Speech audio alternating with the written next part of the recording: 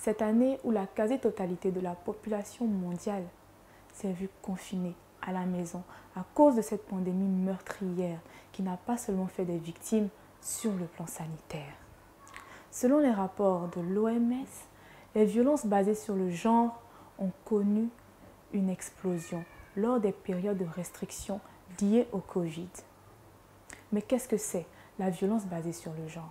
Les violences basées sur le genre ou violences sexistes sont des actes nuisibles dirigés contre un individu ou un groupe d'individus en raison de leur identité de genre. Les violences basées sur le genre peuvent être physiques ou morales.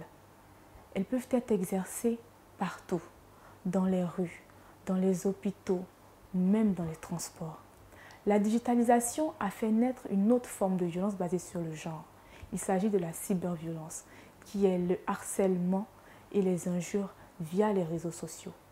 Les conséquences de, des violences basées sur le genre peuvent être désastreuses pour les hommes comme pour les femmes.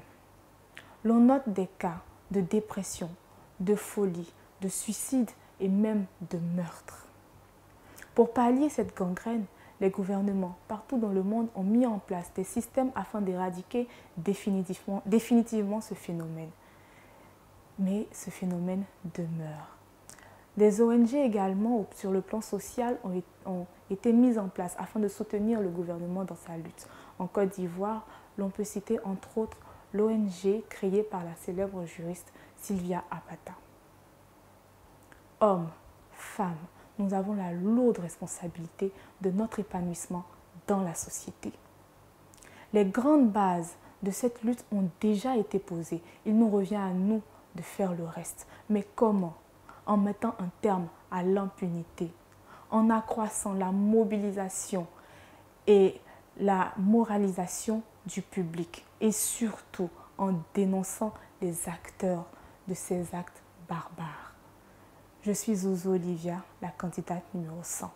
Merci.